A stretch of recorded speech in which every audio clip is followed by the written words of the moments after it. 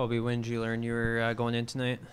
Uh, it was right around the uh, the morning meeting. Came in and uh, KG kind of just pulled me aside while we were stretching and warming up and told me that I'd be going tonight. How'd you feel? Excited, very excited. Always excited to play. How'd you feel in net tonight? Then uh, you, I mean, you've played quite a bit here in the last uh, couple weeks now. Yeah, I felt good. Um, I thought our team defensively really locked it down in front of me. Didn't really give them a lot of high scoring chances. Let me kind of get into the feel for it, and they always had my back, and we really didn't give up a whole lot. They had a couple in the third period. Um, what's it like when you guys are protecting a one goal lead and uh, a scoring chance comes?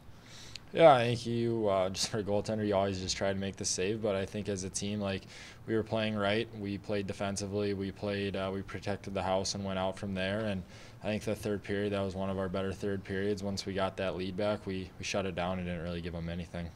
What are your thoughts on seeing Griffin come into the lineup and score a big goal? Yeah, that was exciting. That was a big uh, that was a big boost for us early in the second, and I think it showed the rest of the game after that. We kind of kind of took over, and it was pretty much our game. I thought. It was uh, Cameron Berg excited to get the last one uh, against his old team. Yeah, I think uh, I think that's the icing on the cake. Obviously, he just wanted to win. He's a good team guy, and to see him get that goal to, to solidify the win is uh, it's very exciting.